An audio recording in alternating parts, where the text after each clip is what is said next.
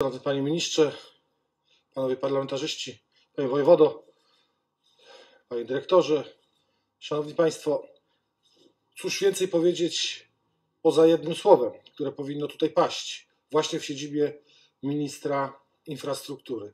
Tym słowem, i mówię to przede wszystkim jako mieszkaniec Szczecina, jako przedstawiciel tych wszystkich, którzy od dziesięcioleci czekali na tę bardzo ważną inwestycję, nie tylko szczecinianie, ale również mieszkanie, mieszkańcy, przepraszam, Polic, mieszkańcy Goleniowa, tych wszystkich, którzy chcą ze Szczecina bezpiecznie i szybko udać się nad piękny Bałtyk.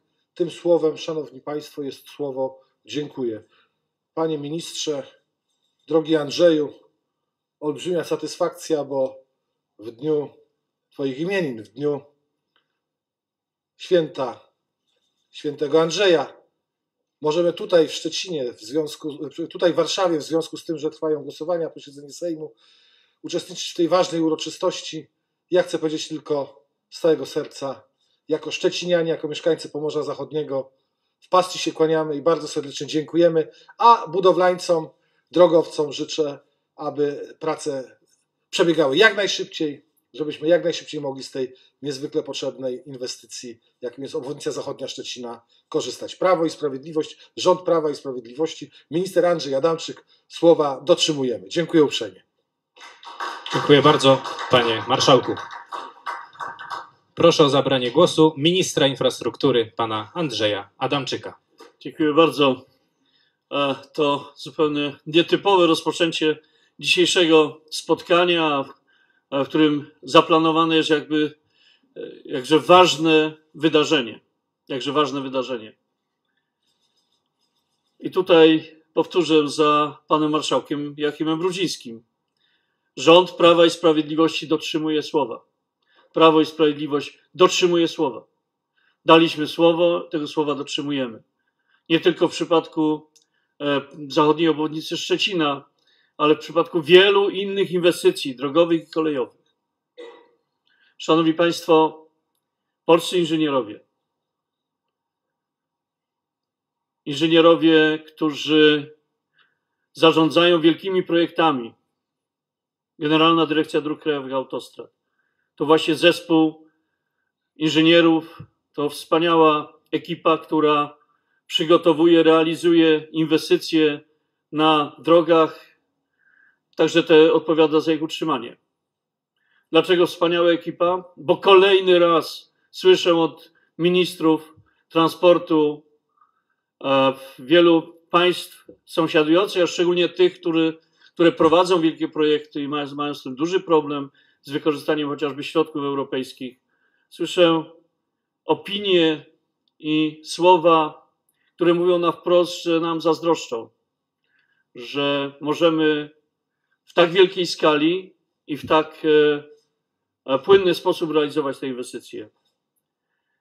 Polscy inżynierowie nie boją się wyzwań, polscy projektanci nie boją się wyzwań, polscy, polscy wykonawcy nie boją się wyzwań w formacie już nie tylko europejskim, ale światowym. Do takiego formatu, e, wpis, w taki format wpisuje się inwestycja, która dzisiaj jest przedmiotem naszej troski, dbałości e, i zabiegów.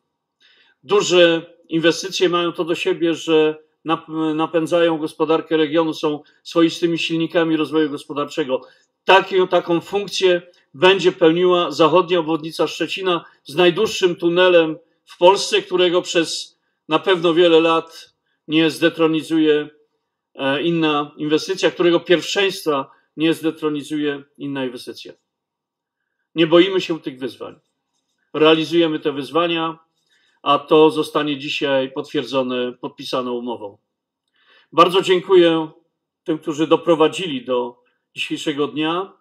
Szczególnie chciałem podziękować politykom, bo gdybyśmy nie mieli tych możliwości realizacyjnych, chciałem podziękować parlamentarzystom, chciałem podziękować e, także i e, wszystkim służbom wojewody, panie marszałku Jakimie Brudziński. E, to kolejne przedsięwzięcie, które wpisujemy w pana pakiet starań i zabiegów. Tunel pod Świną, dzisiaj zachodnia obwodnica Szczecina, wraz ze wspaniałym zespołem parlamentarzystów. Jest tutaj z nami pan minister Grubarczyk, jest pan wojewoda, są panowie parlamentarzyści, jest e, za taśmą pan poseł Czesław Hoc. E, Żałuję, że nie z nami, jest tutaj wolne krzesło, zapraszamy. E, To dzięki wam możliwe były te decyzje, które pozwoliły naszym inżynierom i Generalnej Dyrekcji Dróg Krajowych, im partnerom biznesowym rozpocząć działania, przygotowania do tej inwestycji. Dziękuję politykom, dziękuję Generalnej Dyrekcji Dróg Krajowych i Autostrad. Jest z nami pan e, dyrektor Tomasz Żuchowski, jest dyrektor, e, dyrektor generalny Tomasz Żuchowski, jest pan dyrektor Lendner. E, Na wasze ręce dziękuję wszystkim waszym współpracownikom, partnerom biznesowym za przygotowania tej, e, tego przedsięwzięcia.